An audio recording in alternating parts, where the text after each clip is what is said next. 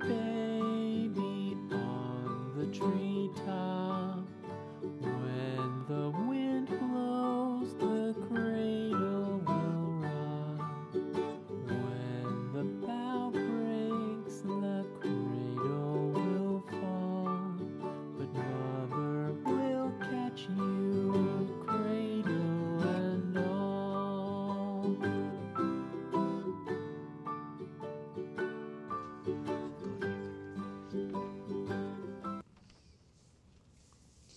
Hello and welcome back to TV. I'm Cody.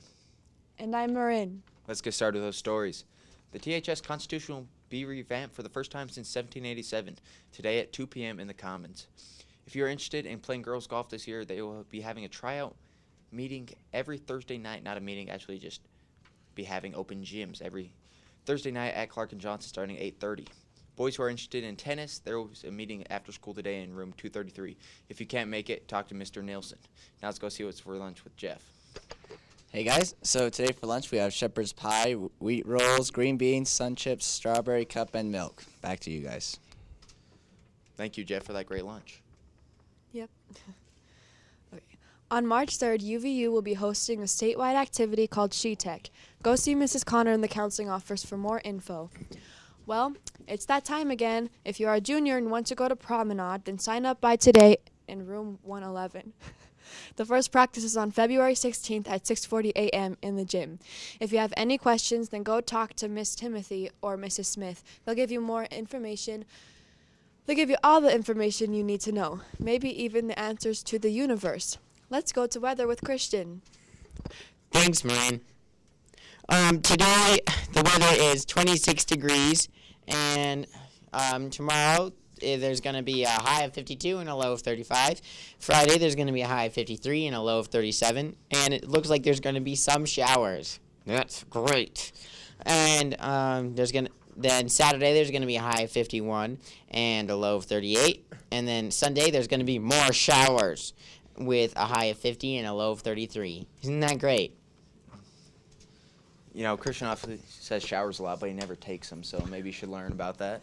But thank you for one of the most important people I know, Christian. Right, uh, are you a junior? Well, that really does suck because I'm almost graduated.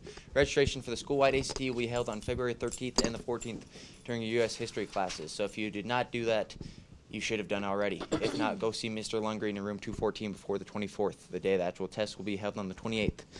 Don't stress and worry about the test. Skip the hard problems you don't know and don't overthink. Good luck. If you are a junior and feel the need to go to Boys and Girls State, then you should go see Mrs. Black in the counseling office for information about applications and interviews. Now let's go sports with Chloe. Thanks. Um, girls basketball playoffs are at Richfield Friday at 7. Boys host Carbon in the playoffs Friday at 7 here. And congratulations to the following students that placed state this weekend. Madison Royal, fourth in the 100 fly and sixth in the 100 breaststroke.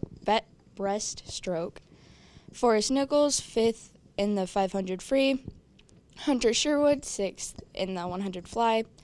And congratulations to the following wrestlers at the state tournament last week Brady Knight, third place. Angel Garcia, fifth place. And Dakota Galvin finished in top eight. Back to you guys. Congrats to all those who did well at state, and good luck to our playoff teams this week.